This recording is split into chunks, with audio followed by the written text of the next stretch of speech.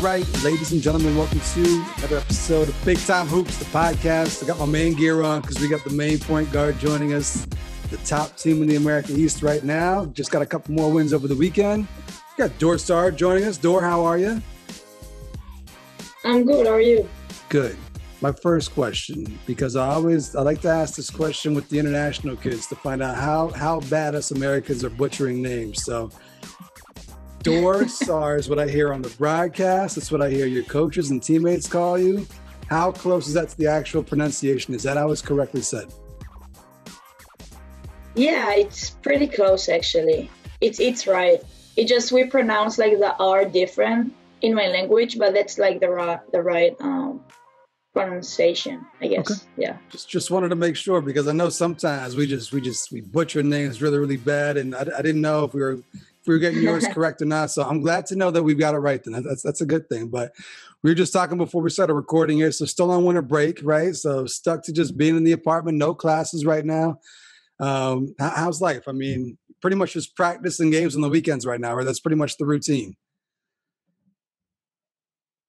Yeah, right now this is the routine, so it can be boring sometimes, um, but it's kind of nice. Just like to practice, play basketball, um, hang out with the team. So it's not too bad. I cannot complain at all. Do you like it more like this? Do you like it where it's just strictly basketball practice, and then nothing really else, or do you do you prefer like before? Because it must be probably less busy than you normally would be, right? With classes, you'd be going to class, and um, if, if, you were allowed to go out, you'd probably be going out and having fun and stuff like that. Do you prefer it more like this, where you can just strictly focus on basketball and classes when it's time, or you prefer the other one when you're a little bit more busy? Actually, I prefer um, a busy schedule, but I think um, I don't know if most people do. But when we have school and everything, I feel like um, like times like flies by, and then I'm more focused on everything, so it's just easier for me, like to to manage my time and everything. What's it like right now? Because normally during the regular season, it's a game mid middle of the week and then a game on the weekend. But right now, it's just games on the weekend. So does that make for a very long week where you're just kind of looking forward to the weekend, just like getting ready to play again?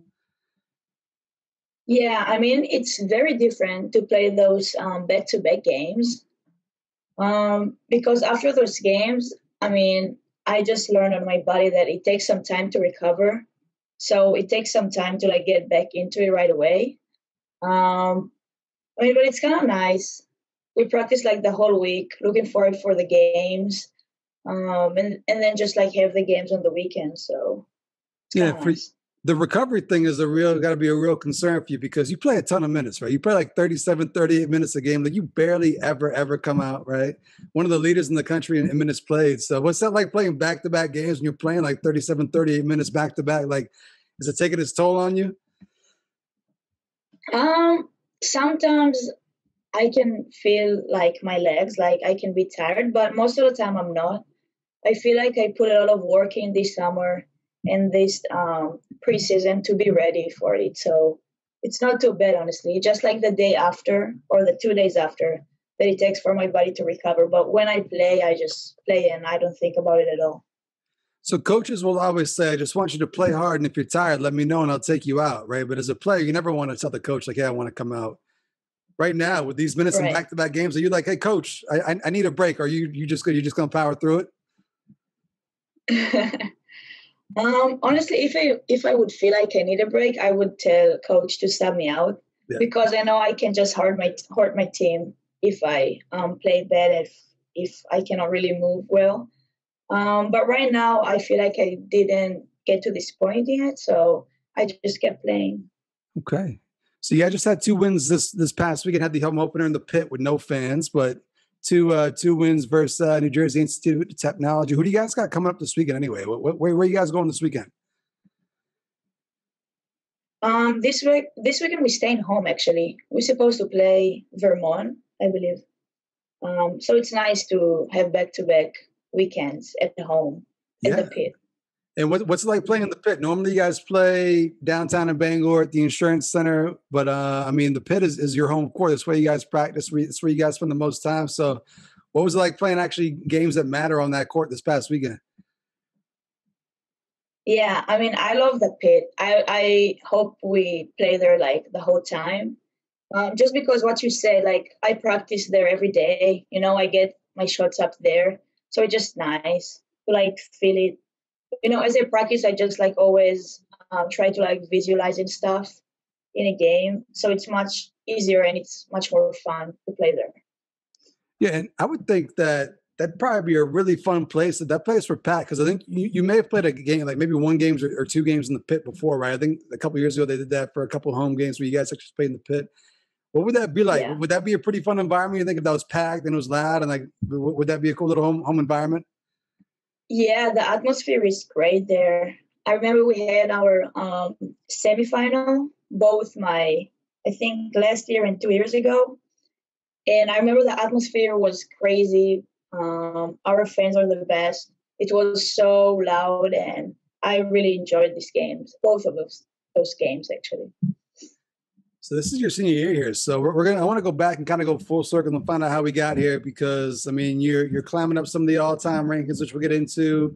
Uh, I've had nothing but success since you've been here, but I want to find out how you got here. So we're gonna go back and get to know Dor a little bit and uh, find out how we got to this point. So a native of Israel, right? Born and raised in Israel. Yep, that's right.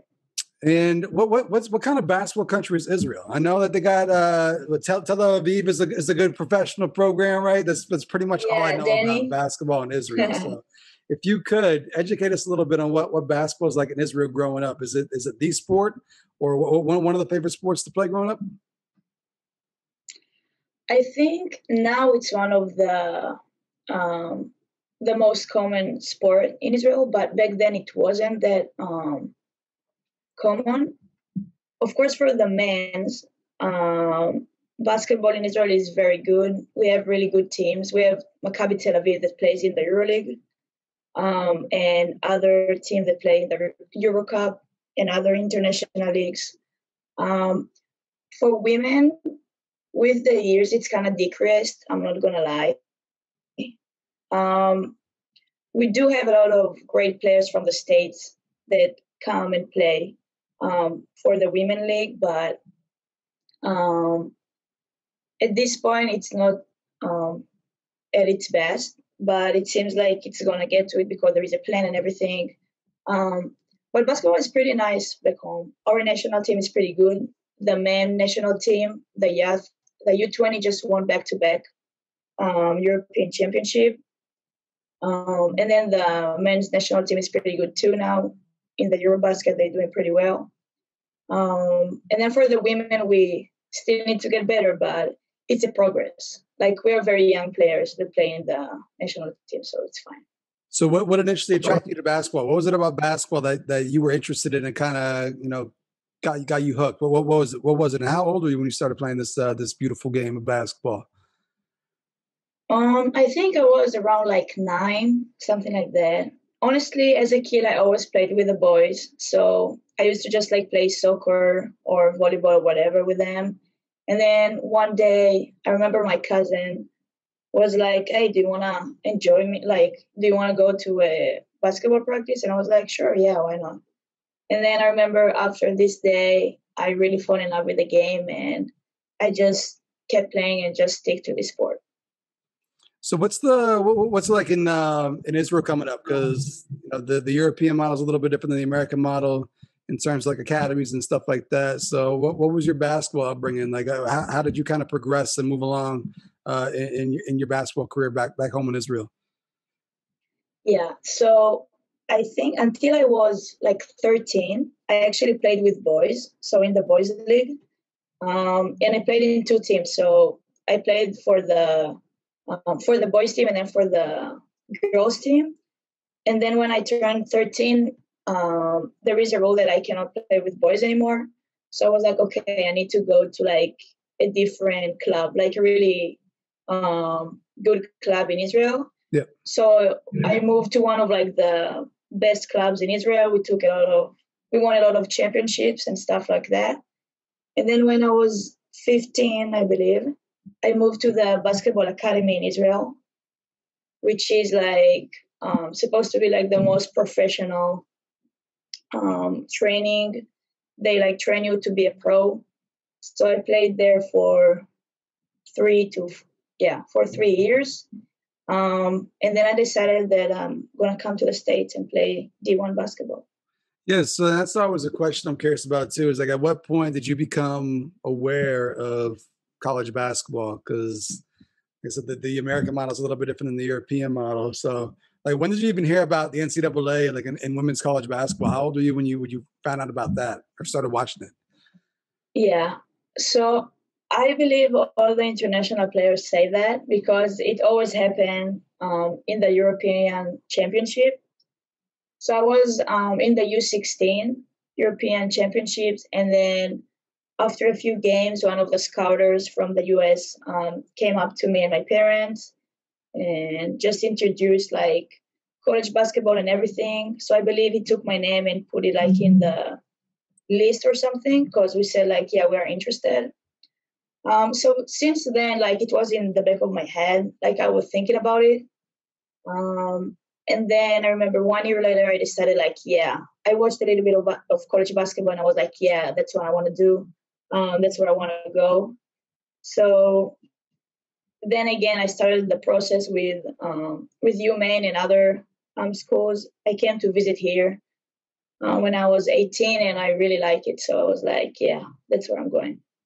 So who reached out to you first? Was it, was it still Coach Barron or was it uh, Coach Amy at that point that uh, actually was doing the Yeah, Coach Barron actually recruited me. Coach Barron saw one of my games. Um, I think when I was 17 in the U18 uh, European Championship. So that's how we started talking. But yeah, it was Coach Barron back then. And then when he said, I'm from the University of Maine, did you have to go look up where Maine was? Did you have any idea what he was talking about when he said Maine? no. But then, yeah, I looked it up. so, had you ever been to the States prior to uh, coming here to visit? Actually, no. No. So it was my first time. Travel a lot though on the uh, on on the on the national team, right? I'm guessing you guys traveled a lot uh, all throughout your your teenage years. I'm guessing, right? Yeah, yeah coolest place you played in, or, or what, what, what, is, what were some of the countries like? Well, who would be Israel's rival when it comes to basketball? Like, who who were you excited to go against when it came to being on the national team? Mm, honestly, any good team, like any team. Yeah. Um, I'm trying to to see like where we have like the like the hardest battles. Mm, maybe Turkey or something. Yeah. Because I remember every year, like we played against them. Um, so we play a lot against them. So I would say, yeah. And it's always a close game. The time you've been part of the national team, just kind of coming up. I mean, you're not you're not that old. You're still you're still young, so it hasn't been that long. But have you noticed a difference in terms of like the resources and stuff that are given, being given like the, to the women's program? Has it gotten better on the national team scene, uh, just in the time you've been there? Um, or does it still have, does it still have a ways to go? Do we we still got to figure this out? There is still a long way to go. Unfortunately, it's not like in the in the best um, point right now, but it's okay. It's a progress. Um, so I believe we'll get there eventually. If we have a game plan and everything, I believe we will get there. I mean, and the good thing is you had to go coming to America playing some Division One basketball, and you were able to do that through the national team. So you came here, and what was it about Maine? Why why'd you pick Maine? And were there any other schools that you were looking at before you ultimately chose Maine? Yeah, there were some other schools that I looked at, but it came to a point that um, I had an official visit here, and I believe in St. Francis um, back then. So I remember I did those both um, those visits and after i came here i just really like like the environment you know the people the program and everything um, so i was like yeah i think this this is the place uh, i belong to did you have one of the uh, players that was kind of showing you around when you came to visit was it someone who kind of took you under their wing and kind of showed you around campus and showed you what it was all about yeah actually she's not here anymore um, she was from italy um, I believe her name was Isabel, something like that. Okay. Um, yeah. So yeah, she was my host when I. But she did a good job, right? Because I mean, you you ultimately decided Maine, so you like, liked what you saw. Did you come here? Was it the summertime or wintertime when you came? Because I, I feel like that could make it. It was winter time. It was like um, in December, I believe. Wow, so and you cold. still chose. You still chose to come to Maine. Yeah. Okay. Well, it's yeah. worked out well. It's worked out well since you've been here, so it was, it was a good decision. So, prior to actually coming here to start your freshman year, what was it like? I mean, I'm guessing there there was a jump going from international ball to American ball and, and playing playing women's college basketball. Mm-hmm. What would you what were there any concerns? Was there anything you were worried about about making the jump? Did you have any doubts? Anything you wanted to kind of get better at before you started your freshman year?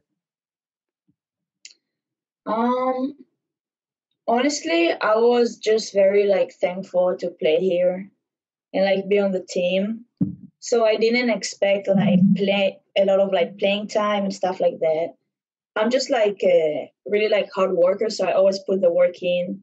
And like my dream is to be like a professional basketball player. So um, I always make sure like I work hard and get better. Um, so it was just like so. I mean, college basketball it's so different from European basketball or any type of basketball. I believe, um, especially like practices and lift here, it's like so much longer, so much harder. Um, so I I needed some time to get used to that. Um, but I really like it. Like I really like college basketball. And one thing that Blanca mentioned when I had Blanca on, she said like one of the biggest adjustments for her was uh, conditioning and being in the weight room and stuff like that. It was stuff she hadn't really done before. Were yeah. you in the weight room? Was the weight room something new for you? And how did how did you enjoy the weight room and the conditioning and all, all that part of uh, college basketball? well, I was in the weight room before because I was in in the um, basketball academy, so we did some lift and stuff and conditioning. But here it's like on another level for sure. Like preseason, we have like five times a week, and conditioning is like very hard.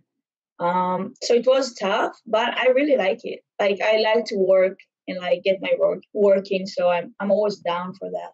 Honestly. So your first year here, you, you were recruited by Coach Barron, but he wasn't here, right? He, he wasn't even your coach your first year, right? Wasn't wasn't it uh, Coach yeah. John's first year? Was your first year? So what was that like showing up, thinking you're going to play for one coach and then it'd be a different coach? Was that an adjustment, or were you okay with that? Um, I was okay with that because I knew um, Coach Vachon before. I mean, she had Coach Barron recruited me, so she was she was doing the most of the talking and everything. Um, she showed me around and stuff, um, and I knew she was a good coach, so I was down for that too. Yeah, why not? And when you got here, you, you came into a program that was just about ready to win a conference championship, right? So your freshman year, I think, is the year they won they won conference. So I mean, you stepped into a really good yep. team. Who was there? Blanca was there. Paris was there. Who else was there your freshman year? Who, who else was some of the upperclassmen? Um, KJ, Tanesha, Julie was with us too. Um, another upperclassmen. I think that's it. We didn't have a lot of upperclassmen. KJ and Paris were, were our seniors, I believe. And uh, so we were a lot of freshmen and sophomores. Yeah, and just a lot of talent. what, what was it like? Because he mentioned that you just wanted to kind of come over here and get some playing time and be be part of the rotation. What was it like going from probably getting all kinds of minutes on the national team, playing, you know, a, a ton of minutes, playing a ton of games, and then coming in and having to kind of like start over, kind of like to, to earn a spot. What was it like for you? Was that an adjustment, or were, were you okay with that? Were you just happy to be part of the team and, and doing your part? I think it was both. Um, of course, I was okay with that because it's like it is what it is, and I need to earn my, um, you know, my playing time and everything. Um, but it also was like an adjustment just for everything. You know, I just came to the States. So, in addition to basketball, I feel like I had to like adjust and adapt to like the culture and like the people, the language. So, a lot of stuff uh, were going on. But I think basketball was um, was like the thing that like kind of saved me and like I could like really focus in and just like enjoy it kind of because I had a hard time at the beginning. I remember, um, but basketball was like the thing that always um, helped me get through everything. Yeah. So, what was the adjustment like just being in Maine? Because that's a huge culture shock right there too. Big, uh, big weather weather shock to your system too. So, how was that adjustment? Uh, just uh, kind of transitioning into a different culture, different country, Um, how was all that? And just being so far from home, Israel isn't uh, isn't exactly next door. That's that's that's quite a distance away. So, what was what was that adjustment like for you? Yeah, yeah. Um, it was it was hard, especially like the weather is so different because back home it's so much warmer. Like we don't even have snow. We have only one mountain that sometimes gets snow. That's all. Um, and here in Maine, it's so cold in the winter. Um, but it's okay. I mean, it took me some time to just like understand. And my language at the beginning, like my English wasn't great, so it took me some time to like understand people and people understand me. Um, but people here are really nice, and um, so it wasn't like it was nice. And then uh, a lot of times too, uh, food. Food can be a tough thing to adjust to, right? Being in a different country. Uh, how was the American food? Yeah. Were you okay with the American food? And was it something that you just liked right off the bat? Like, oh, I'm going to just eat this every day. I like this right here. Actually, I really disliked the food at the beginning. I was wow. like, I don't know how you guys eat this every day. Yeah, that's I know it's not a common answer, I guess but yeah, at the beginning, um, I didn't really like it because it's so different. And I used to eat like much, not much, but like healthier food. So a lot of like vegetables. Yeah. Um, we don't really eat bacon or like stuff like that. So it was like it's very different. That's all. Yeah. And then on top of that, you're getting the door, you're getting uh, cafeteria food, where it's just French fries, hamburgers, all that type of stuff too. Like this, I mean, it's not, not a lot of variety. Yeah. They're shoving that stuff down your throat. Like, here, eat this, eat some cheeseburgers. But, uh, but I'm, I'm guessing you, you've uh, kind of grown accustomed to it, right? Have you found some things you like since since, since you've been here? Yeah, no, right now, right now I like it very much. Yeah, I love it. There's no problem. All right, good. So you guys went uh conference your your freshman year. Were you just thinking like we're just going to do this every year? We're just going to win the conference championship every year I'm here. Was, was that was that what you were thinking uh, after winning the first one? Oh, definitely. Yeah. Our goal every year is to win a championship and make it to the March Madness, of course. This year, I believe we even have like higher expectations to win the championship and win the first round. Yeah, I, I, was on ESPN last week. I was on ESPN last week, and I was seeing where they had you guys. I think they had you like as a 13 seed or something like that, which still seems a little bit low. I think it should be a little bit higher, but we still got some time to boost that resume before the end of the year here. Um, I was at the, right. the, first conference championship you guys won, and I just remember that environment being crazy. It was packed. The fans were actually pretty loud. Yeah. Uh, what, what, do you remember most about that game? Like that, that was a really, really fun environment. Yeah, I remember we had a lot of people in this game. Yeah, the atmosphere was great. Um, I, rem- I remember the beginning wasn't great, but then like as the game um, like continue, we played better. And I just remember it was so fun, just like to make it and like win a championship. You know, like you put the work in for these moments, and just like to celebrate those, like is the best thing in the world uh, how'd, how'd you come back for your sophomore year? Because getting that experience freshman year, winning a championship, but I'm guessing kind of deep down inside you wanted a bigger role, you wanted more. So, what was the biggest jump from your freshman year to sophomore year to, to get better and have a bigger impact on the team? Honestly, after you win a championship and you want to win another one, you know that you need to do like so much more because it's so much harder to um, win back to back back to back championships than just like winning one. So I just knew that I need to um, like get better. So I put a lot of work in this summer, not this summer, the summer back then. Um, I remember I talked to Coach um, Amy to see like what should I do, like what would be my role, what do I need to work on. So she really helped me to understand what should I work on this like on in the summer. Um, so I was just like putting the work in and just ready to go for my sophomore year, I guess.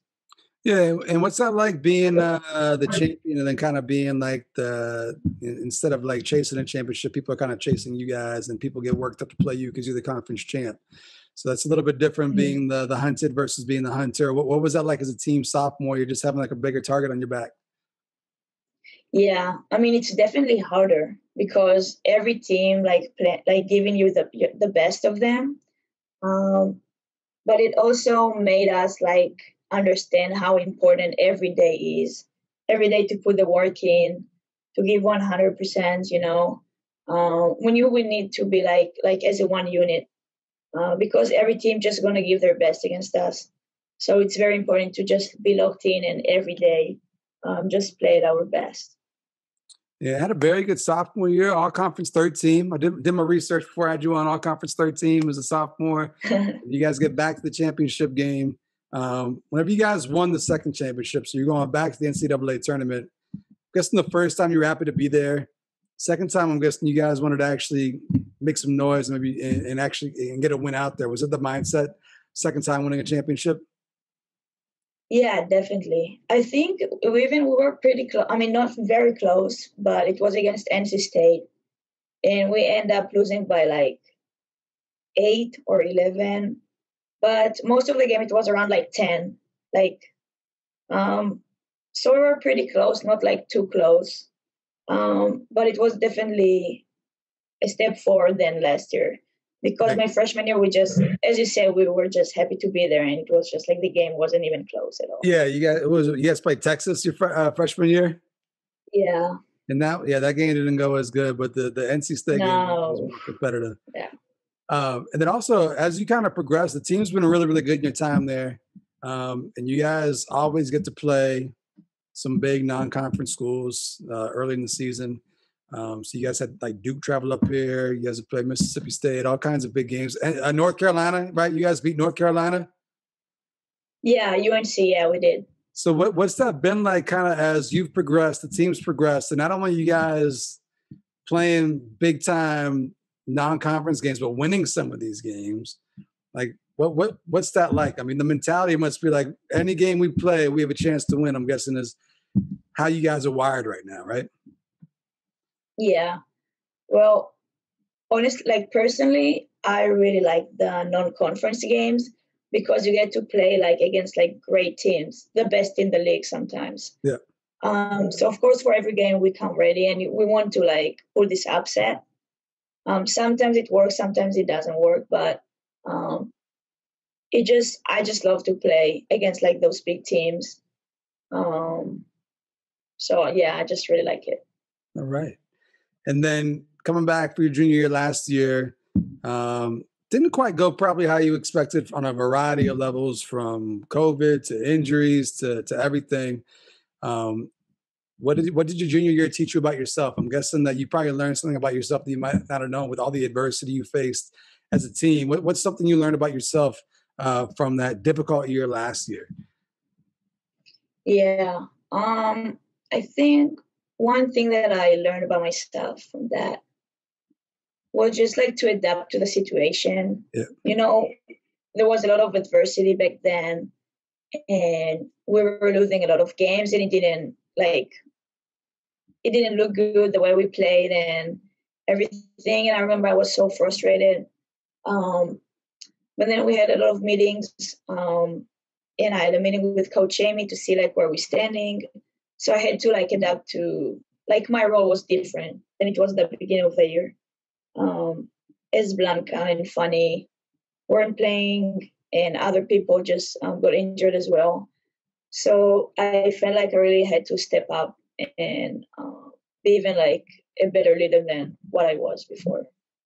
And you guys wrote it out. I mean, you guys went on a winning streak and played really well towards the end of the uh, conference schedule. Then we're headed back to another conference championship game, and then this little thing called COVID hit.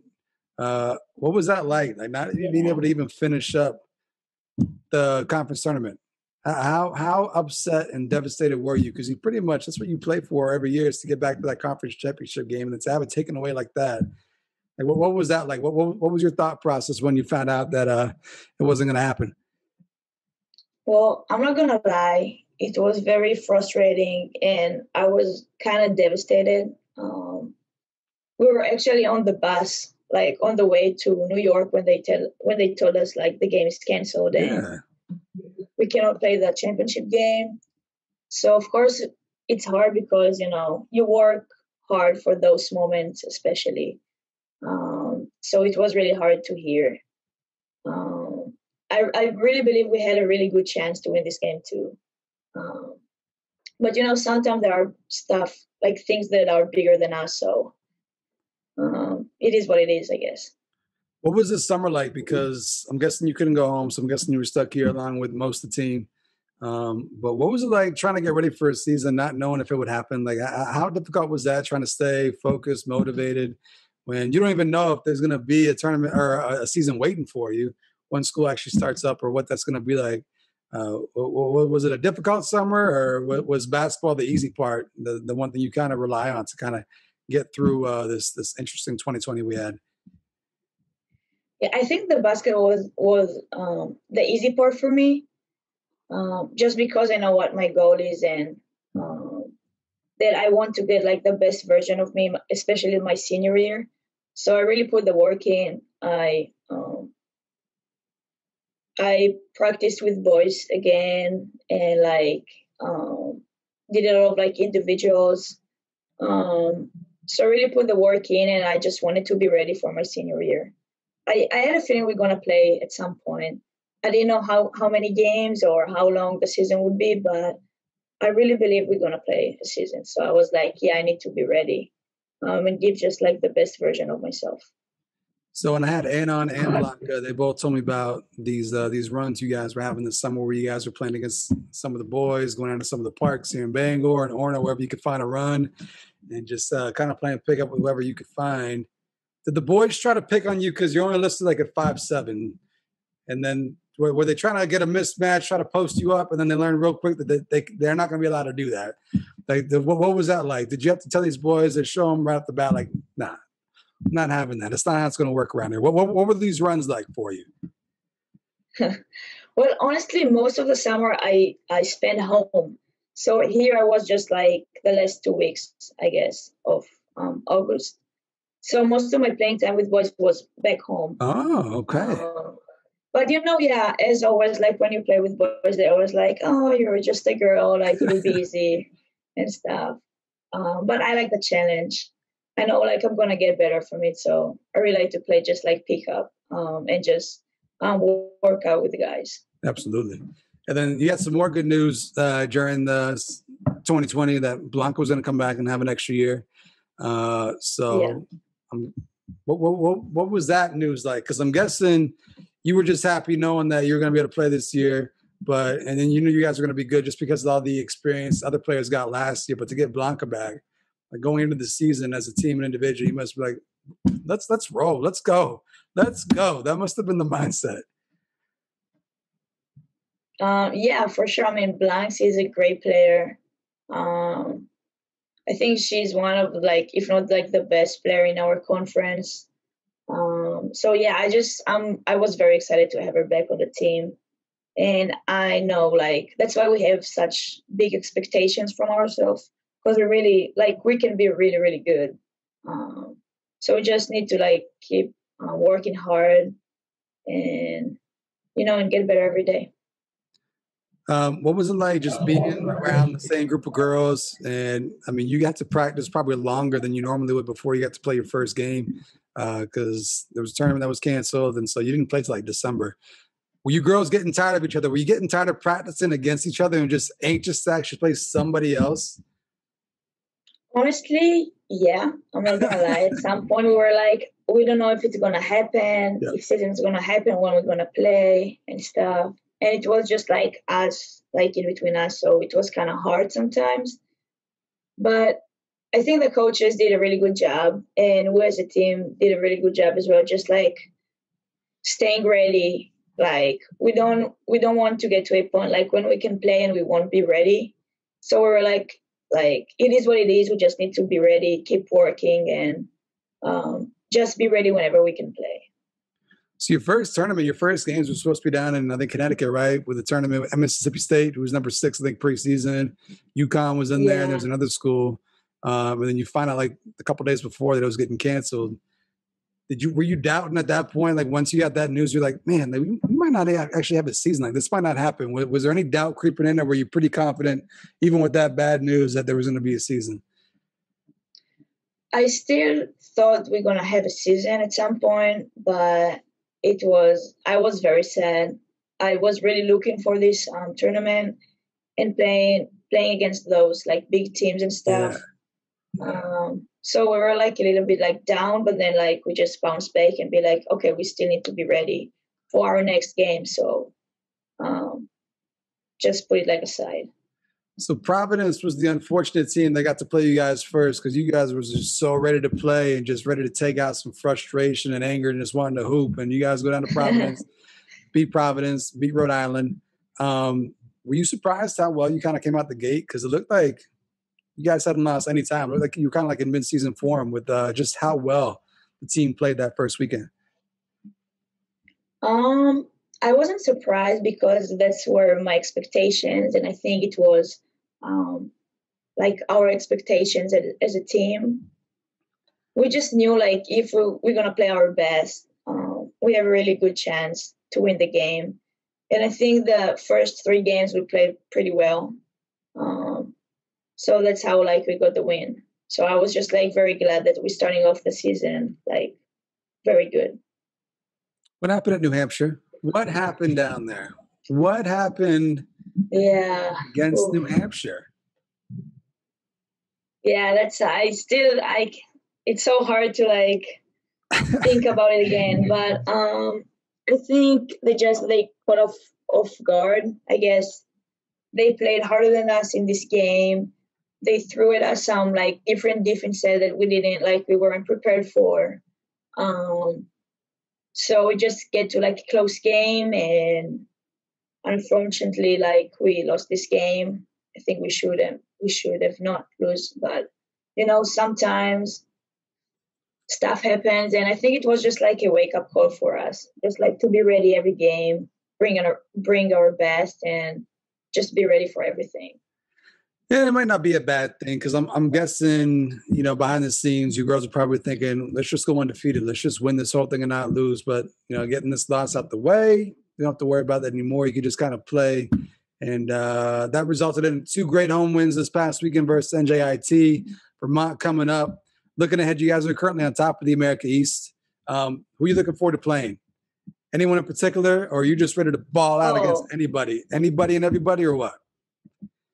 First of all, yeah, ball out against everybody, but there is one team that we are very excited to play, and of course, it's Stony Brook. Yep. I think it's going to be a great game, and uh, we still have some unfinished businesses to do. So that this is like the game I'm really looking forward to play, honestly. When's that one? I didn't look at the schedule, but it's got to be coming up soon. Do you, do you, do you play every team in the America East uh, one time? Is that how it's working? Yeah, but honestly, this is the last game of the regular season, so mm. it's the end of February, I believe. Wow! So we have like a month to go, pretty much. And yeah. They they've lost, right? Stony Brook's already got three losses in the conference. No, no, they. I think they lost only once. Oh, that might be uh, non-conference so we, games. Yeah, it was non-conference. So as like on the, I feel like we're the first and second place with the same record, I believe. Vermont coming in this weekend. Um, what can we expect? Can we, can we expect a couple more W's here? Can we keep rolling? Can we keep the win train moving here? Um, I mean, of course, this is like the plan, but Vermont is a great team. You know, we cannot just like show up and expect like to win every like against like any team. We really need to like work out, put the work in, and like be locked in in the game. And um, if we're gonna play our best, we'll be in a good shape to win this game. I believe. I'm excited. I've caught pretty much every game except for the Providence game, and I got plans to sit down and watch some Black Bear basketball this weekend. I'm gonna be tuned in. I can't wait. Before we get up out of here, though, I want to hit on some random questions before we uh, close things out. So I was taking a look yeah. on the uh, UMaine website, taking a look at the pro- player profile, just going through some things. It says you're listed at five foot six. Is that accurate? Are you actually five foot six? You're a little bit smaller than that.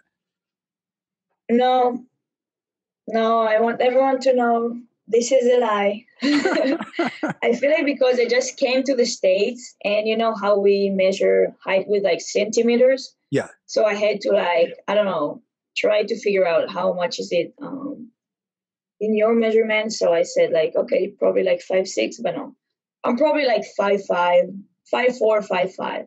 Let's, let's stick with five, five, five, five, five. five. Okay. That works.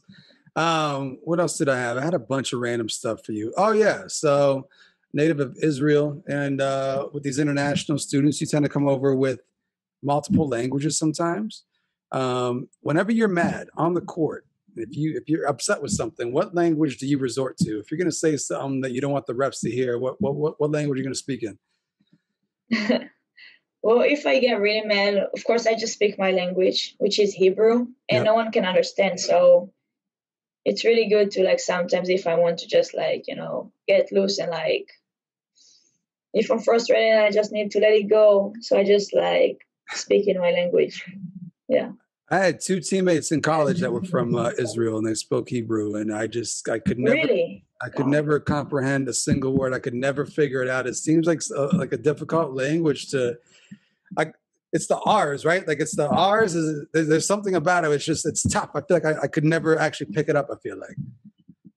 Yeah, it's the R's, and we have another sound which is like I don't want to say like it's weird, but it's like, and you guys cannot say that. No. Um, yeah, it's a different language. Yeah, it is. It's it's it is. We'll, we'll just go with that. It's it's a tough one. But right, so anyone who knows, if if you hear Dora out there in the court and she's speaking Hebrew, she's probably saying something bad. She's probably she's probably upset about something. she's resorting to Hebrew. So secrets out. Um, so your your roommates with Blanca, what's one thing that she does that just upsets you as a roommate? Is she a good roommate or a bad roommate? um, I think she's a really good roommate. I feel like there is anything she does that can upset me. Um, is there anything that you do that upsets her? Probably, I wake up very early, so sometimes I'm I'm loud. I feel like because usually I wake up at like seven or eight, so I just go to the kitchen, and sometimes I'm, I can be like loud. Yeah, that's that's what happens when you got roommates. That's, those are roommate struggles right there.